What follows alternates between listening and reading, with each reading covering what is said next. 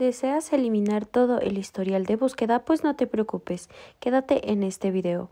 Muy bien, entonces en esta ocasión vamos a aprender a cómo eliminar todo el historial de búsqueda en TikTok. Vamos a dirigirnos entonces a la aplicación como tal. Una vez aquí en la parte inferior tenemos, por ejemplo, opciones como inicio, amigos, el más, bandeja de entrada y perfil. Vamos a mantenernos en inicio y ahora vamos a ir a la parte superior derecha justo en donde se encuentra pues el buscador. Vamos a presionarlo y aquí pues vamos a dar un clic en donde dice ver más.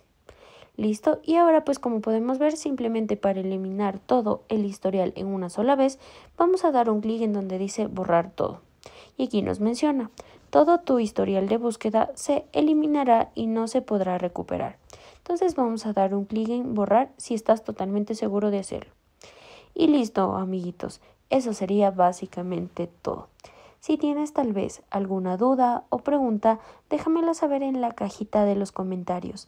No olvides suscribirte a nuestro canal de YouTube y activar la campanita para que te llegue una notificación pues cada vez que subamos un video nuevo.